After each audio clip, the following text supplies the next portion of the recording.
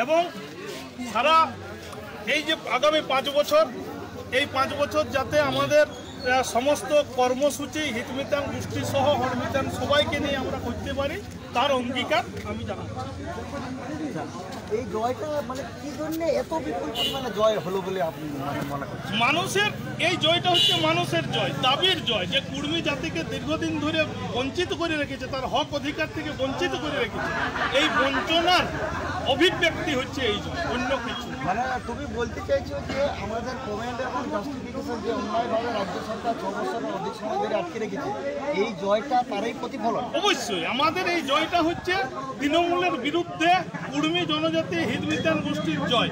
এবং এই জয়টা হচ্ছে দীর্ঘদিন তৃণমূল সরকার আমাদেরকে আশা দিয়ে নিরাশা করেছে। তার বিরুদ্ধে এই জয়। তো আমরা সরকারের কাছে চাইব যে এই জনগোষ্ঠী যাতে বিপরীতে না যায়, বিরুদ্ধে না যায়। আপনি এই জাতিগোষ্ঠীর যে কমেন্ট জাস্টিফিকেশনের যে দীর্ঘদিনের পেন্ডিং দাবি, এই দাবিটা মিটাই দেন। আমরা রাজনীতি কোনো আমাদের উদ্দেশ্য নয়। এই, এইটা আমরা একটা রাজনৈতিক দলগুলোর কাছে বার্তা দিতে চাইছি যে আমরা এখনও মরে যাইনি বাঁচিয়ে আছি। মানে মানে এইটা এইটা এইটা বোঝাতে চাইছো যে, যেটা ওরা আগে মনে করেছিল যে যা কিছুই থাক, এই এরা লাখ লাখ কর্মী জড়া হয়, আন্দোলন করে ঘাগর ঘেরা, এই রেল টেকা ডহর ছেকা মুখ দমে লোক করে, লাখ লাখ লোক করে।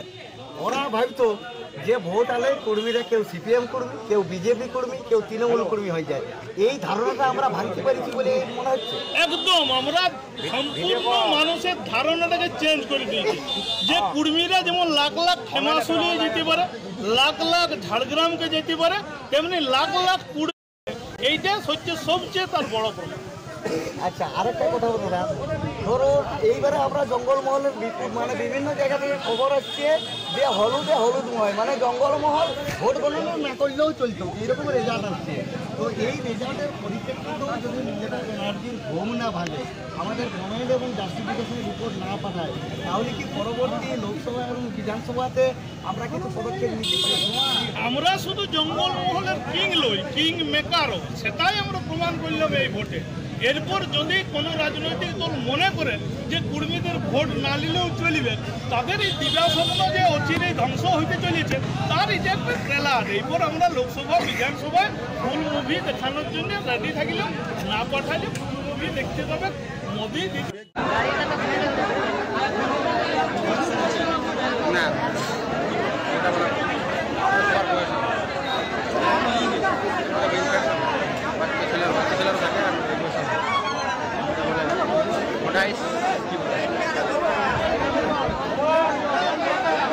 আর সবশেষে একটা কথাই বলব বন্ধুরা, চিন্তা করো না।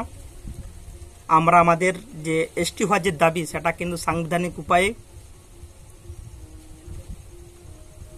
পাবই, কেউ আটকাতে পারবে না। এবং অলরেডি এসটি হওয়ার জন্য যে ডিএনএ যে রিপোর্ট সে ডিএনএ রিপোর্টও কিন্তু প্রুভ হয়ে গেছে যে কুর্মীরা হচ্ছে আদিম জনজাতি বন্ধুরা। সো চিন্তা করো না বন্ধুরা, আমরা আমাদের জাতিসত্তা ফিরে পাবই, আজ না হয় খুব শীঘ্রই, বেশি দেরি নয়। আর সাবস্ক্রাইব করে সাপোর্টটা করো বন্ধুরা, পাশ থেকো।